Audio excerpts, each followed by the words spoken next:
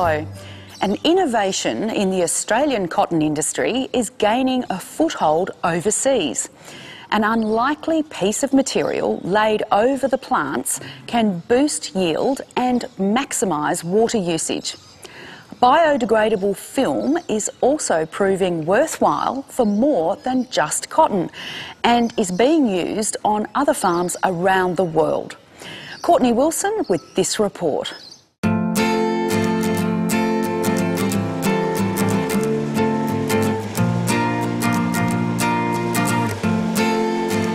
The Darling Downs in Queensland is ideal country for growing cotton, especially when water is more valuable than ever.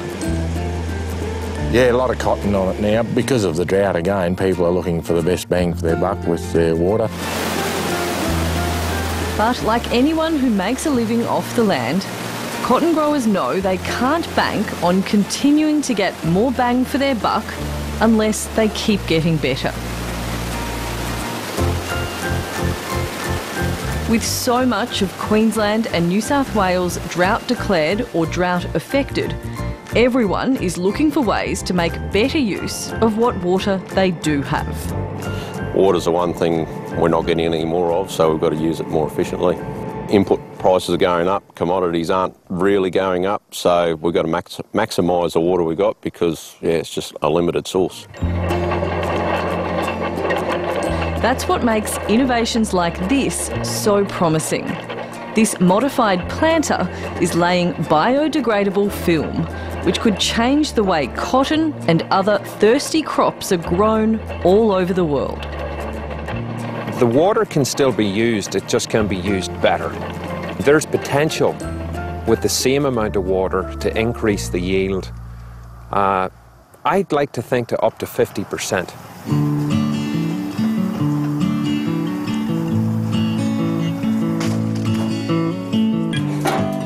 Nick Clapham is a third generation cotton grower at Cecil Plains on the central Darling Downs. We generally grow single skip cotton, so on average we like to have a yield over three bales to the acre, which is seven and a half bales to the hectare. Anything over that, we're happy. This season, sadly, there's no cotton in the ground where it normally would be on Nick's place. He fought and lost a battle with Mother Nature. A hailstorm smashed his crop on Boxing Day.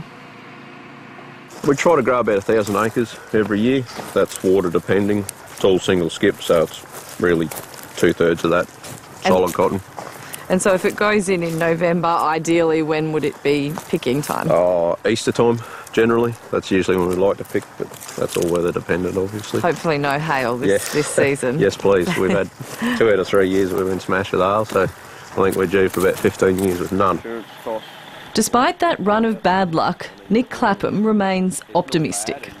And that's partly because of the promising results he's seen firsthand from growing his cotton under film. First year that got hailed out, we actually did see an improvement in that. We grew that cotton through and we still saw our bale of hectare, or better than a bale of hectare under that film, in, even in the hailed out scenario. So last year was probably our best representative trial against non-film cotton. Um, very dry year. It um, had a very cold start and the cotton not under film, we had to replant twice due to the cold start where the stuff under film uh, we got to grow through. Biodegradable film is laid at the same time as the seed is planted. By trapping heat from the sun, it raises the soil temperature several degrees, which is really beneficial for getting cotton seeds established. It seems that the physiology of cotton is, um, is such that it really, as a desert fruit, it really loves heat. By creating the microclimate, and adding and bringing the moisture up to the seed bed. With very little stress, it can move around and start to establish itself.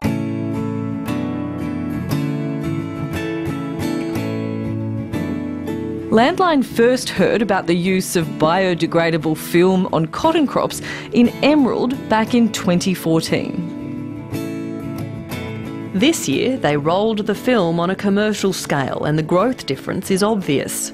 Both rows planted on the 3rd of August, Yeah, one with biodegradable film and the other Yeah, without. yeah, exactly.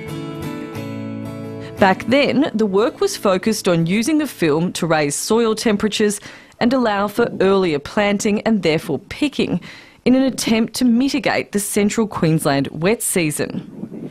But what it revealed was that the technology would actually be more useful further south, where the temperature has more ups and downs, making growing conditions tougher for cotton. So, how much have you guys got planted to cotton this season? We only planted 500 Former. Cotton Australia board member Stuart Armitage has been growing cotton on the Darling Downs for decades and is still surprised at what the weather gods sometimes serve up. What will happen to this? Yeah, we've seen frosts out here in November, so you can almost guarantee that we'll get cold shock somewhere in the gro- early growing season. Cold shock is when sudden drops in temperature significantly set a cotton crop back, so it's something growers want to avoid where possible. If you get one cold shock day, that slows the, the growth rate down predominantly, and then you you end up with a soil-borne disease which slows it down again, so then all of a sudden you're a week behind where you should be. So this is just maintaining that growth that we need. Our system really takes the peaks and the troughs. It smooths the temperature charts a little bit. You know, it is possible to still have cold shock, but you are adding an additional six to seven degrees during the day on top of whatever those soil temperatures would normally be. Depending on the type of soil, it takes between six and eight weeks for the film to break down. After 90 days, it's completely gone. It's really a blend of starches, low density polymers, and some minerals, uh, really, that you would find in a very similar to what you would find in a vitamin tablet. They oxidize, which um, helps everything break down, lets Mother Nature get between the molecules, and uh, to no ill effect or detriment to the natural environment. Like with all new ideas, the journey to bring biodegradable film to Australia's cotton industry hasn't been without hurdles. Although the inventors knew the technology worked, they didn't have the capacity to roll it out on a commercial scale. Following the field trials in Emerald, David McGrath was put in touch with Michael Freeman, the general manager of a family owned company in the business of making precision planters. We've been manufacturing planters since the late 70s. We have our head office here in Edgeroi based on our family farm and our factories in Toowoomba. Michael has spent the past few years working to bring biodegradable film to the cotton industry. They needed us to develop some machinery to lay it on a commercially viable broad acre scale. So we spent the 15 and 16 developing the machinery and the last couple of years have been spent demonstrating, putting in field trials, etc., both here in Australia and in the US.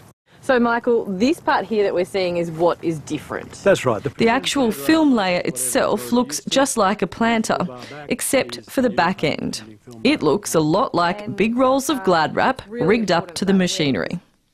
From this toolbar back is the new patent pending film layer component. And um, it's really important that when the seed is actually planted in the ground, the film is laid directly over top where those slots are That's so the seed And that's why we're out. doing it in one pass. If you don't line those slots up over the top of the seed line, the seedling will come up under the shoulder of the film and he's going to die. What's something like this worth? 150 odd thousand for the six row machine you see sitting here. So, is that a sound investment? The theory is if growers are going to spend money on expensive seeds, then they're going to want to make sure they survive and thrive. And if biodegradable film means they're in with a much better chance of doing so, then that's where the value lies. Cotton's a sook to get out of the ground. If we can baby the plant by creating a nice warm and wet environment for it, that's a, a good start. And within five minutes of laying the film, you can already see the condensation forming under the film. So it locks the moisture in, it locks the temperature in, and plants like cotton and corn love that environment. The cost to put a crop under film varies from around 200 to $330 per hectare, depending on your row spacing. So, in terms of cotton, in order to not only pay its way but make good money, it needs to produce around a bale more per hectare. The design process all happens here in the factory at Toowoomba. We've got two engineers in our design office where everything is modelled on the computers and manufactured on the computers before we even uh, cut a piece of steel in the workshop. From there, once we're satisfied, uh, we outsource all of our laser cutting and machining. Uh, we do all of our own pressing and forming and shaping here in-house and we do all of our own fab work in-house. In the past couple of years, Michael Freeman has been working his way across the United States, putting not just cotton under film, but also corn and hemp. He says the results speak for themselves. So in our first season in the US, we put in 50 acres over half a dozen sites, and this season in the US, we put in uh, 300 odd acres over 12 sites in nine states. We've had some of the best results we've ever had in uh, West Texas. Uh, we had a dryland cotton crop there that put on an extra 47% yield. Gaining a foothold into the US market has been a huge coup, given the size and scale of crops grown in the States that could potentially be put under film. There is millions of acres there.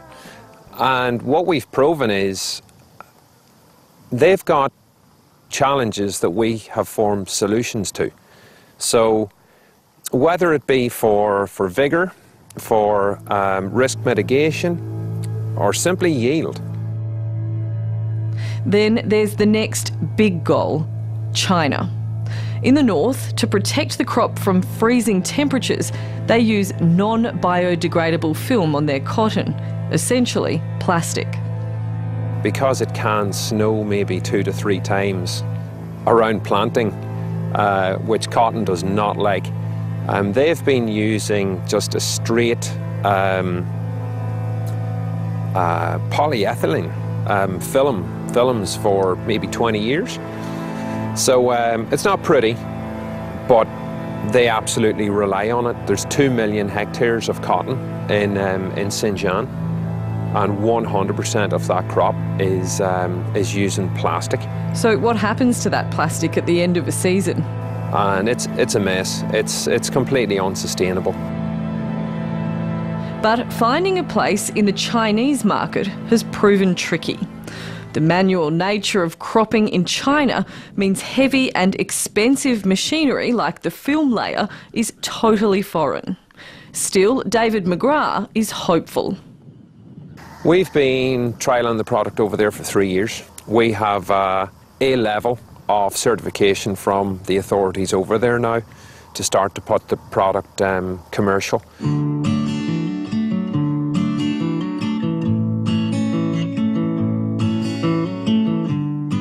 Back home, the impetus is on proving the worth of the film for water efficiency.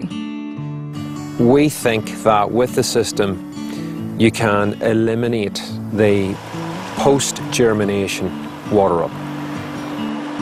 If we can be saving two irrigations, you're talking about $500 in terms of, um, of water cost, plus not having to pump it at maybe $30 a hectare, or something like that. More data collected over several years is required to really gauge how big of an impact the film makes In the meantime, Michael Freeman, who is also a grower himself, says yield increases will be what makes or breaks the fledgling industry. It's going to be very driven by results. If we can continue to see these two and a half bale to the hectare yield increases, absolutely the take up will be there. But it, it is absolutely going to be driven by results. For cotton growers, each new season brings new opportunities to improve both their land management and their bottom lines. Innovation in the cotton industry is why the cotton industry is so successful. all of Australia, we're water poor. So the more yield per megalitre we can get, the better off we are. Our margins are getting tighter, so we're starting to have to micromanage things, I suppose, and price of cotton on in general hasn't gone up much, but the price of inputs are increasing all the time, so we've got to start thinking outside the box, I suppose, to make money elsewhere. And new technologies could be what it takes to make that happen.